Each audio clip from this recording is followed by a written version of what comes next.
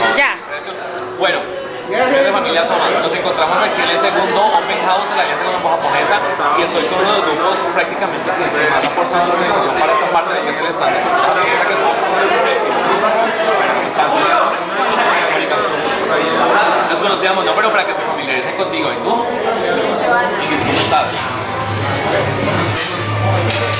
Recuérdeles un nombre porque es que yo ya, yo ya sé cuál es un nombre, pero la Y en gente alto, en alto. Carlos Corredor.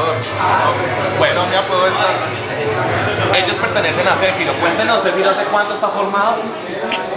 Bueno, Céfiro lleva ya más o menos años largo como de animación japonesa. Pues eh, los objetivos que nosotros tenemos principalmente son fomentar la cultura del anime, que las personas se entretengan, que tengan otro tipo de actividad diferente, algo pues, que sea y entretenerse. ¿Cuántas personas componen Céfiro?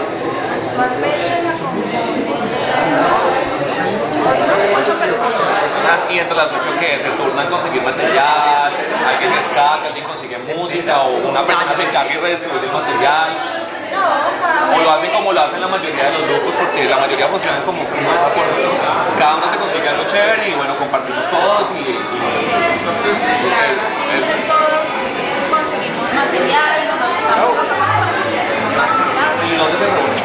Eh, las cosas de cada uno de nosotros, pues para hacerlo más amigable. En la la casa de cada uno. La tracadera. Y cada uno llega con su torre en blanco y tío. ¿Qué tenés para hoy? Sí, más o menos. Bueno, ¿y cómo fue?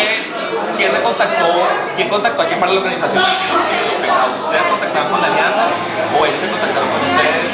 Bueno, Andre, la presidenta del grupo, Laura, ella se contactó con la alianza, junto con el grupo Meiji, eh, se unieron para organizar, así que fue la primera. Por ejemplo, la mayoría que he visto es de, entonces, pues la verdad, pues, muchísimas gracias porque pues gente así es que se necesita, ¿no? Que empuje para los eventos para ver si esto va de para arriba. No, claro, esa es la idea de los Bueno, muchísimas gracias. ¿Nos tiene página de internet? Eh, sí, tenemos una comunidad www.cefiro.net.